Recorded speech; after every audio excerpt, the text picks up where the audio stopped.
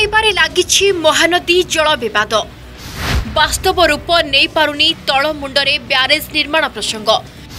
ଶୁଖିଗଲାଣି ନଈନାଳ ଗ୍ରୀଷ୍ମ ତାଉରେ ଭୟଙ୍କର ଜଳକଷ୍ଟ ଭୋଗୁଛି ଓଡ଼ିଶା। ରାଜ୍ୟ ସରକାରଙ୍କ ଅପାରଗତାକୁ ଦାୟୀ କଲେ କେନ୍ଦ୍ର ଜଳସମ୍ପଦ ମନ୍ତ୍ରୀ। ମହାନଦୀର ଶାଖା ନଦୀ ତଥା ତେଲ ଓ ଉଦନ୍ତୀ ନଦୀ ଉପରେ ଛତିଶଗଡ଼ର ବ୍ୟାରେଜ୍ ନିର୍ମାଣକୁ ନେଇ ସରଗରମ ହୋଇଛି ରାଜ୍ୟ ରାଜନୀତି। ଓଡ଼ିଶା ଗସ୍ତରେ ଆସିଥିବା କେନ୍ଦ୍ର ଜଳସମ୍ପଦ ରାଷ୍ଟ୍ରମନ୍ତ୍ରୀ ସିଧାସଳଖ ରାଜ୍ୟ ସରକାରଙ୍କୁ ସାଧିଛନ୍ତି ନିଶାନା। କେନ୍ଦ୍ର ଜଳସମ୍ପଦ ମନ୍ତ୍ରୀ ବିଶ୍ୱେଶ୍ୱର ଟୁଡୁ କହିଛନ୍ତି ରାଜ୍ୟ ସରକାରଙ୍କ ଅପାରଗତା ଯୋଗୁଁ ଆଜି ଏଭଳି ସମସ୍ୟା ସୃଷ୍ଟି ହୋଇଛି।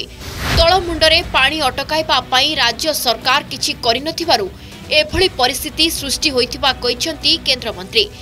ସେ ଆହୁରି କହିଛନ୍ତି ରାଜ୍ୟ ସରକାର ଚାହିଁଥିଲେ କେନ୍ଦ୍ର ସରକାରଙ୍କ ଏ ବାବଦରେ ପ୍ରସ୍ତାବ ଦେଇପାରିଥାନ୍ତେ। କିନ୍ତୁ ଏପର୍ଯ୍ୟନ୍ତ ସରକାର କୌଣସି ପ୍ରସ୍ତାବ ଦେଇନାହାନ୍ତି। ଯଦି ରାଜ୍ୟ ସରକାର ଏ ବାବଦରେ ଆମକୁ ପ୍ରସ୍ତାବ ଦିଅନ୍ତି ତେବେ ଏହା ଉପରେ କାର୍ଯ୍ୟ କରାଯିବ ବୋଲି ମଧ୍ୟ କହିଛନ୍ତି କେନ୍ଦ୍ରମନ୍ତ୍ରୀ ବିଶ୍ୱେଶ୍ୱର ଟୁଡୁ। ତେବେ କେନ୍ଦ୍ରମନ୍ତ୍ରୀଙ୍କ ଏହି ମନ୍ତବ୍ୟ ପରେ ଜୋର ଧରିଛି ଆରୋପ ପ୍ରତ୍ୟାରୋପ ରାଜନୀତି। ମହାନଦୀ ଉପରେ କରିବାର କିନ୍ତୁ ମନା କରିନି ମୁଁ ତ କହୁଛି ମହାନଦୀରେ ଆପଣ ହୀରାକୁଦ ପର୍ଯ୍ୟନ୍ତ ଛତିଶଗଡ଼ର ଉପରେ ଯାହା କବ୍ଜା ରହିଛି ତାପରେ ତ ଆମ ଆମ କବ୍ଜାରେ ଆମେ କାହିଁକି ବର୍ତ୍ତମାନ ସେଟା କରୁନେ? ତେଣୁ ରାଜ୍ୟ ସରକାର ଆଗ୍ରହ ଦିଅନ୍ତୁ। ମୁଁ କିଛି ଦିନ ତଳେ ସି ଡବ୍ଲ୍ୟୁସିରେ ଯେତେବେଳେ ରିଭ୍ୟୁ କଲି ମହାନଦୀ ଉପରେ ଗୋଟେ ବି କୌଣସି ତାଙ୍କର ପ୍ରପୋଜାଲ ନାହିଁ। ମୁଁ ଆଜି ବି ଆପଣମାନଙ୍କ ଜରିଆରେ ସରକାରଙ୍କଠାରେ ନିବେଦନ କରୁଛି ଯେ ସେମାନେ ପ୍ରପୋଜାଲ ଦିଅନ୍ତୁ। ଟଙ୍କାଟା ବଜେଟ୍ରେ ନାହିଁ। ବଜେଟ୍ରେ ରଖିବାର ଥିଲା ଟଙ୍କା ତୁରନ୍ତ ବଜେଟ୍ରେ ରଖ ମୁଖ୍ୟମନ୍ତ୍ରୀ ମହୋଦୟ ତଳେ ଏଗାରଟା ବନ୍ଦ କରିଦିଅ ମହାନଦୀରେ ଆମେ ବଞ୍ଚିବୁ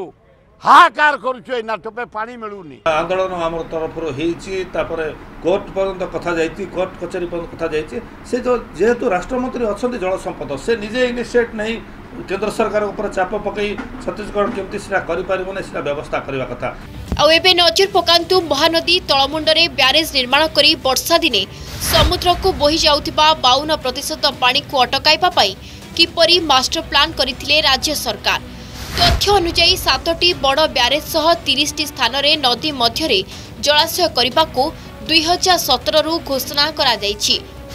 ଗୋଧନେଶ୍ୱର ଦେଓଙ୍ଗା କପାସିରା ଖୈରମାଳ ସୁବଳୟା ମଣିଭଦ୍ରା ମୁଣ୍ଡଳି ଭଳି ସାତଟି ସ୍ଥାନରେ ବ୍ୟାରେଜ୍ ନିର୍ମାଣ କରିବାକୁ ଘୋଷଣା କରାଯାଇଥିଲା।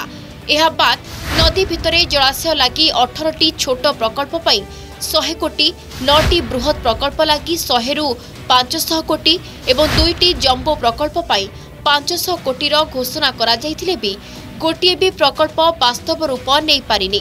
ଏସବୁ ଭିତରେ ଓଡ଼ିଶାର ଜଳାଶୟକୁ ବଞ୍ଚାଇ ରଖିବା ସହ ନୂଆ ଜଳାଶୟ ନିର୍ମାଣ ଲାଗି କେନ୍ଦ୍ର ସରକାର ନେଇଛନ୍ତି ବଡ଼ ପଦକ୍ଷେପ।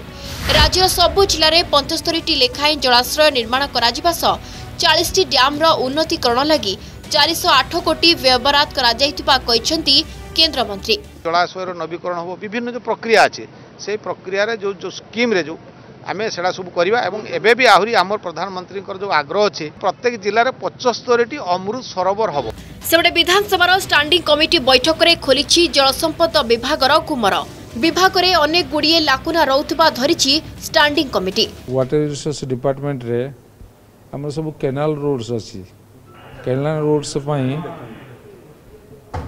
ବଜେଟ୍ରେ ବିହିତ ବ୍ୟବସ୍ଥା ନାହିଁ ଯଥା ଯେତିକି ବ୍ୟବସ୍ଥା ରହିବା କଥା ବ୍ୟବସ୍ଥା ନାହିଁ। ମହାନଦୀର ଶାଖା ନଦୀ କୁହାଯାଉଥିବା ତେଲ ନଦୀ ଉପରେ ଓଡ଼ିଶାର ଚନ୍ଦାହାଣ୍ଡି ସୀମାନ୍ତ ଖପରାଡିହି ନିକଟରେ ବ୍ୟାରେଜ୍ ନିର୍ମାଣ କରୁଛି ଛତିଶଗଡ଼। ସେହିପରି ସୀତା ନଦୀ ନିକଟ ବ୍ୟାଘ୍ର ଅଭୟାରଣ୍ୟଠାରେ ଉଦନ୍ତୀ ନଦୀ ଉପରେ ବ୍ୟାରେଜ୍ ନିର୍ମାଣ ପାଇଁ ପ୍ରସ୍ତାବ ରଖିଛି ଛତିଶଗଡ଼।